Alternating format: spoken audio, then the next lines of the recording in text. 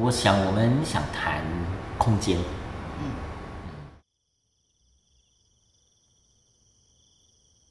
我们一些熟悉的空间，怎么慢慢被遗弃掉了？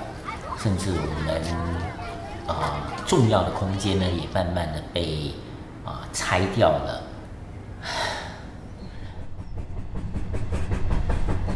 坟场讲的是呃一个坟场的命运啊，这个坟场就是指呃 b o k e Brown。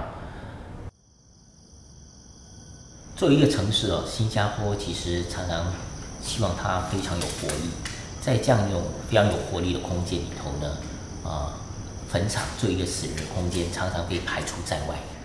我想这次我们的演出呢，要去到五基布朗山，就是要提醒人哦。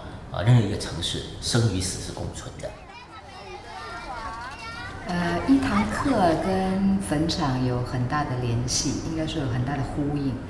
那么新加坡因为很拥挤，所以我们对土地的敏感度很很差，我们甚至也很被动。所以在这一堂课里头，观众他们在听完专家对新加坡土地的见解之后，他们可以重新去思考如何运用土地。然后他们必须经历一个挣扎，什么东西是应该被牺牲掉，什么东西应该被保留。所以这是一个很有趣也蛮残酷的社区演出。有感觉，这这十年来，这个世界变得很快。呃，现在我发现很多人越来越呃有想法，呃，大家对这个世界的那个变化都进行关注。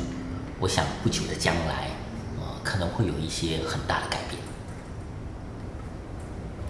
一百年后，这里可能什么都不一样了。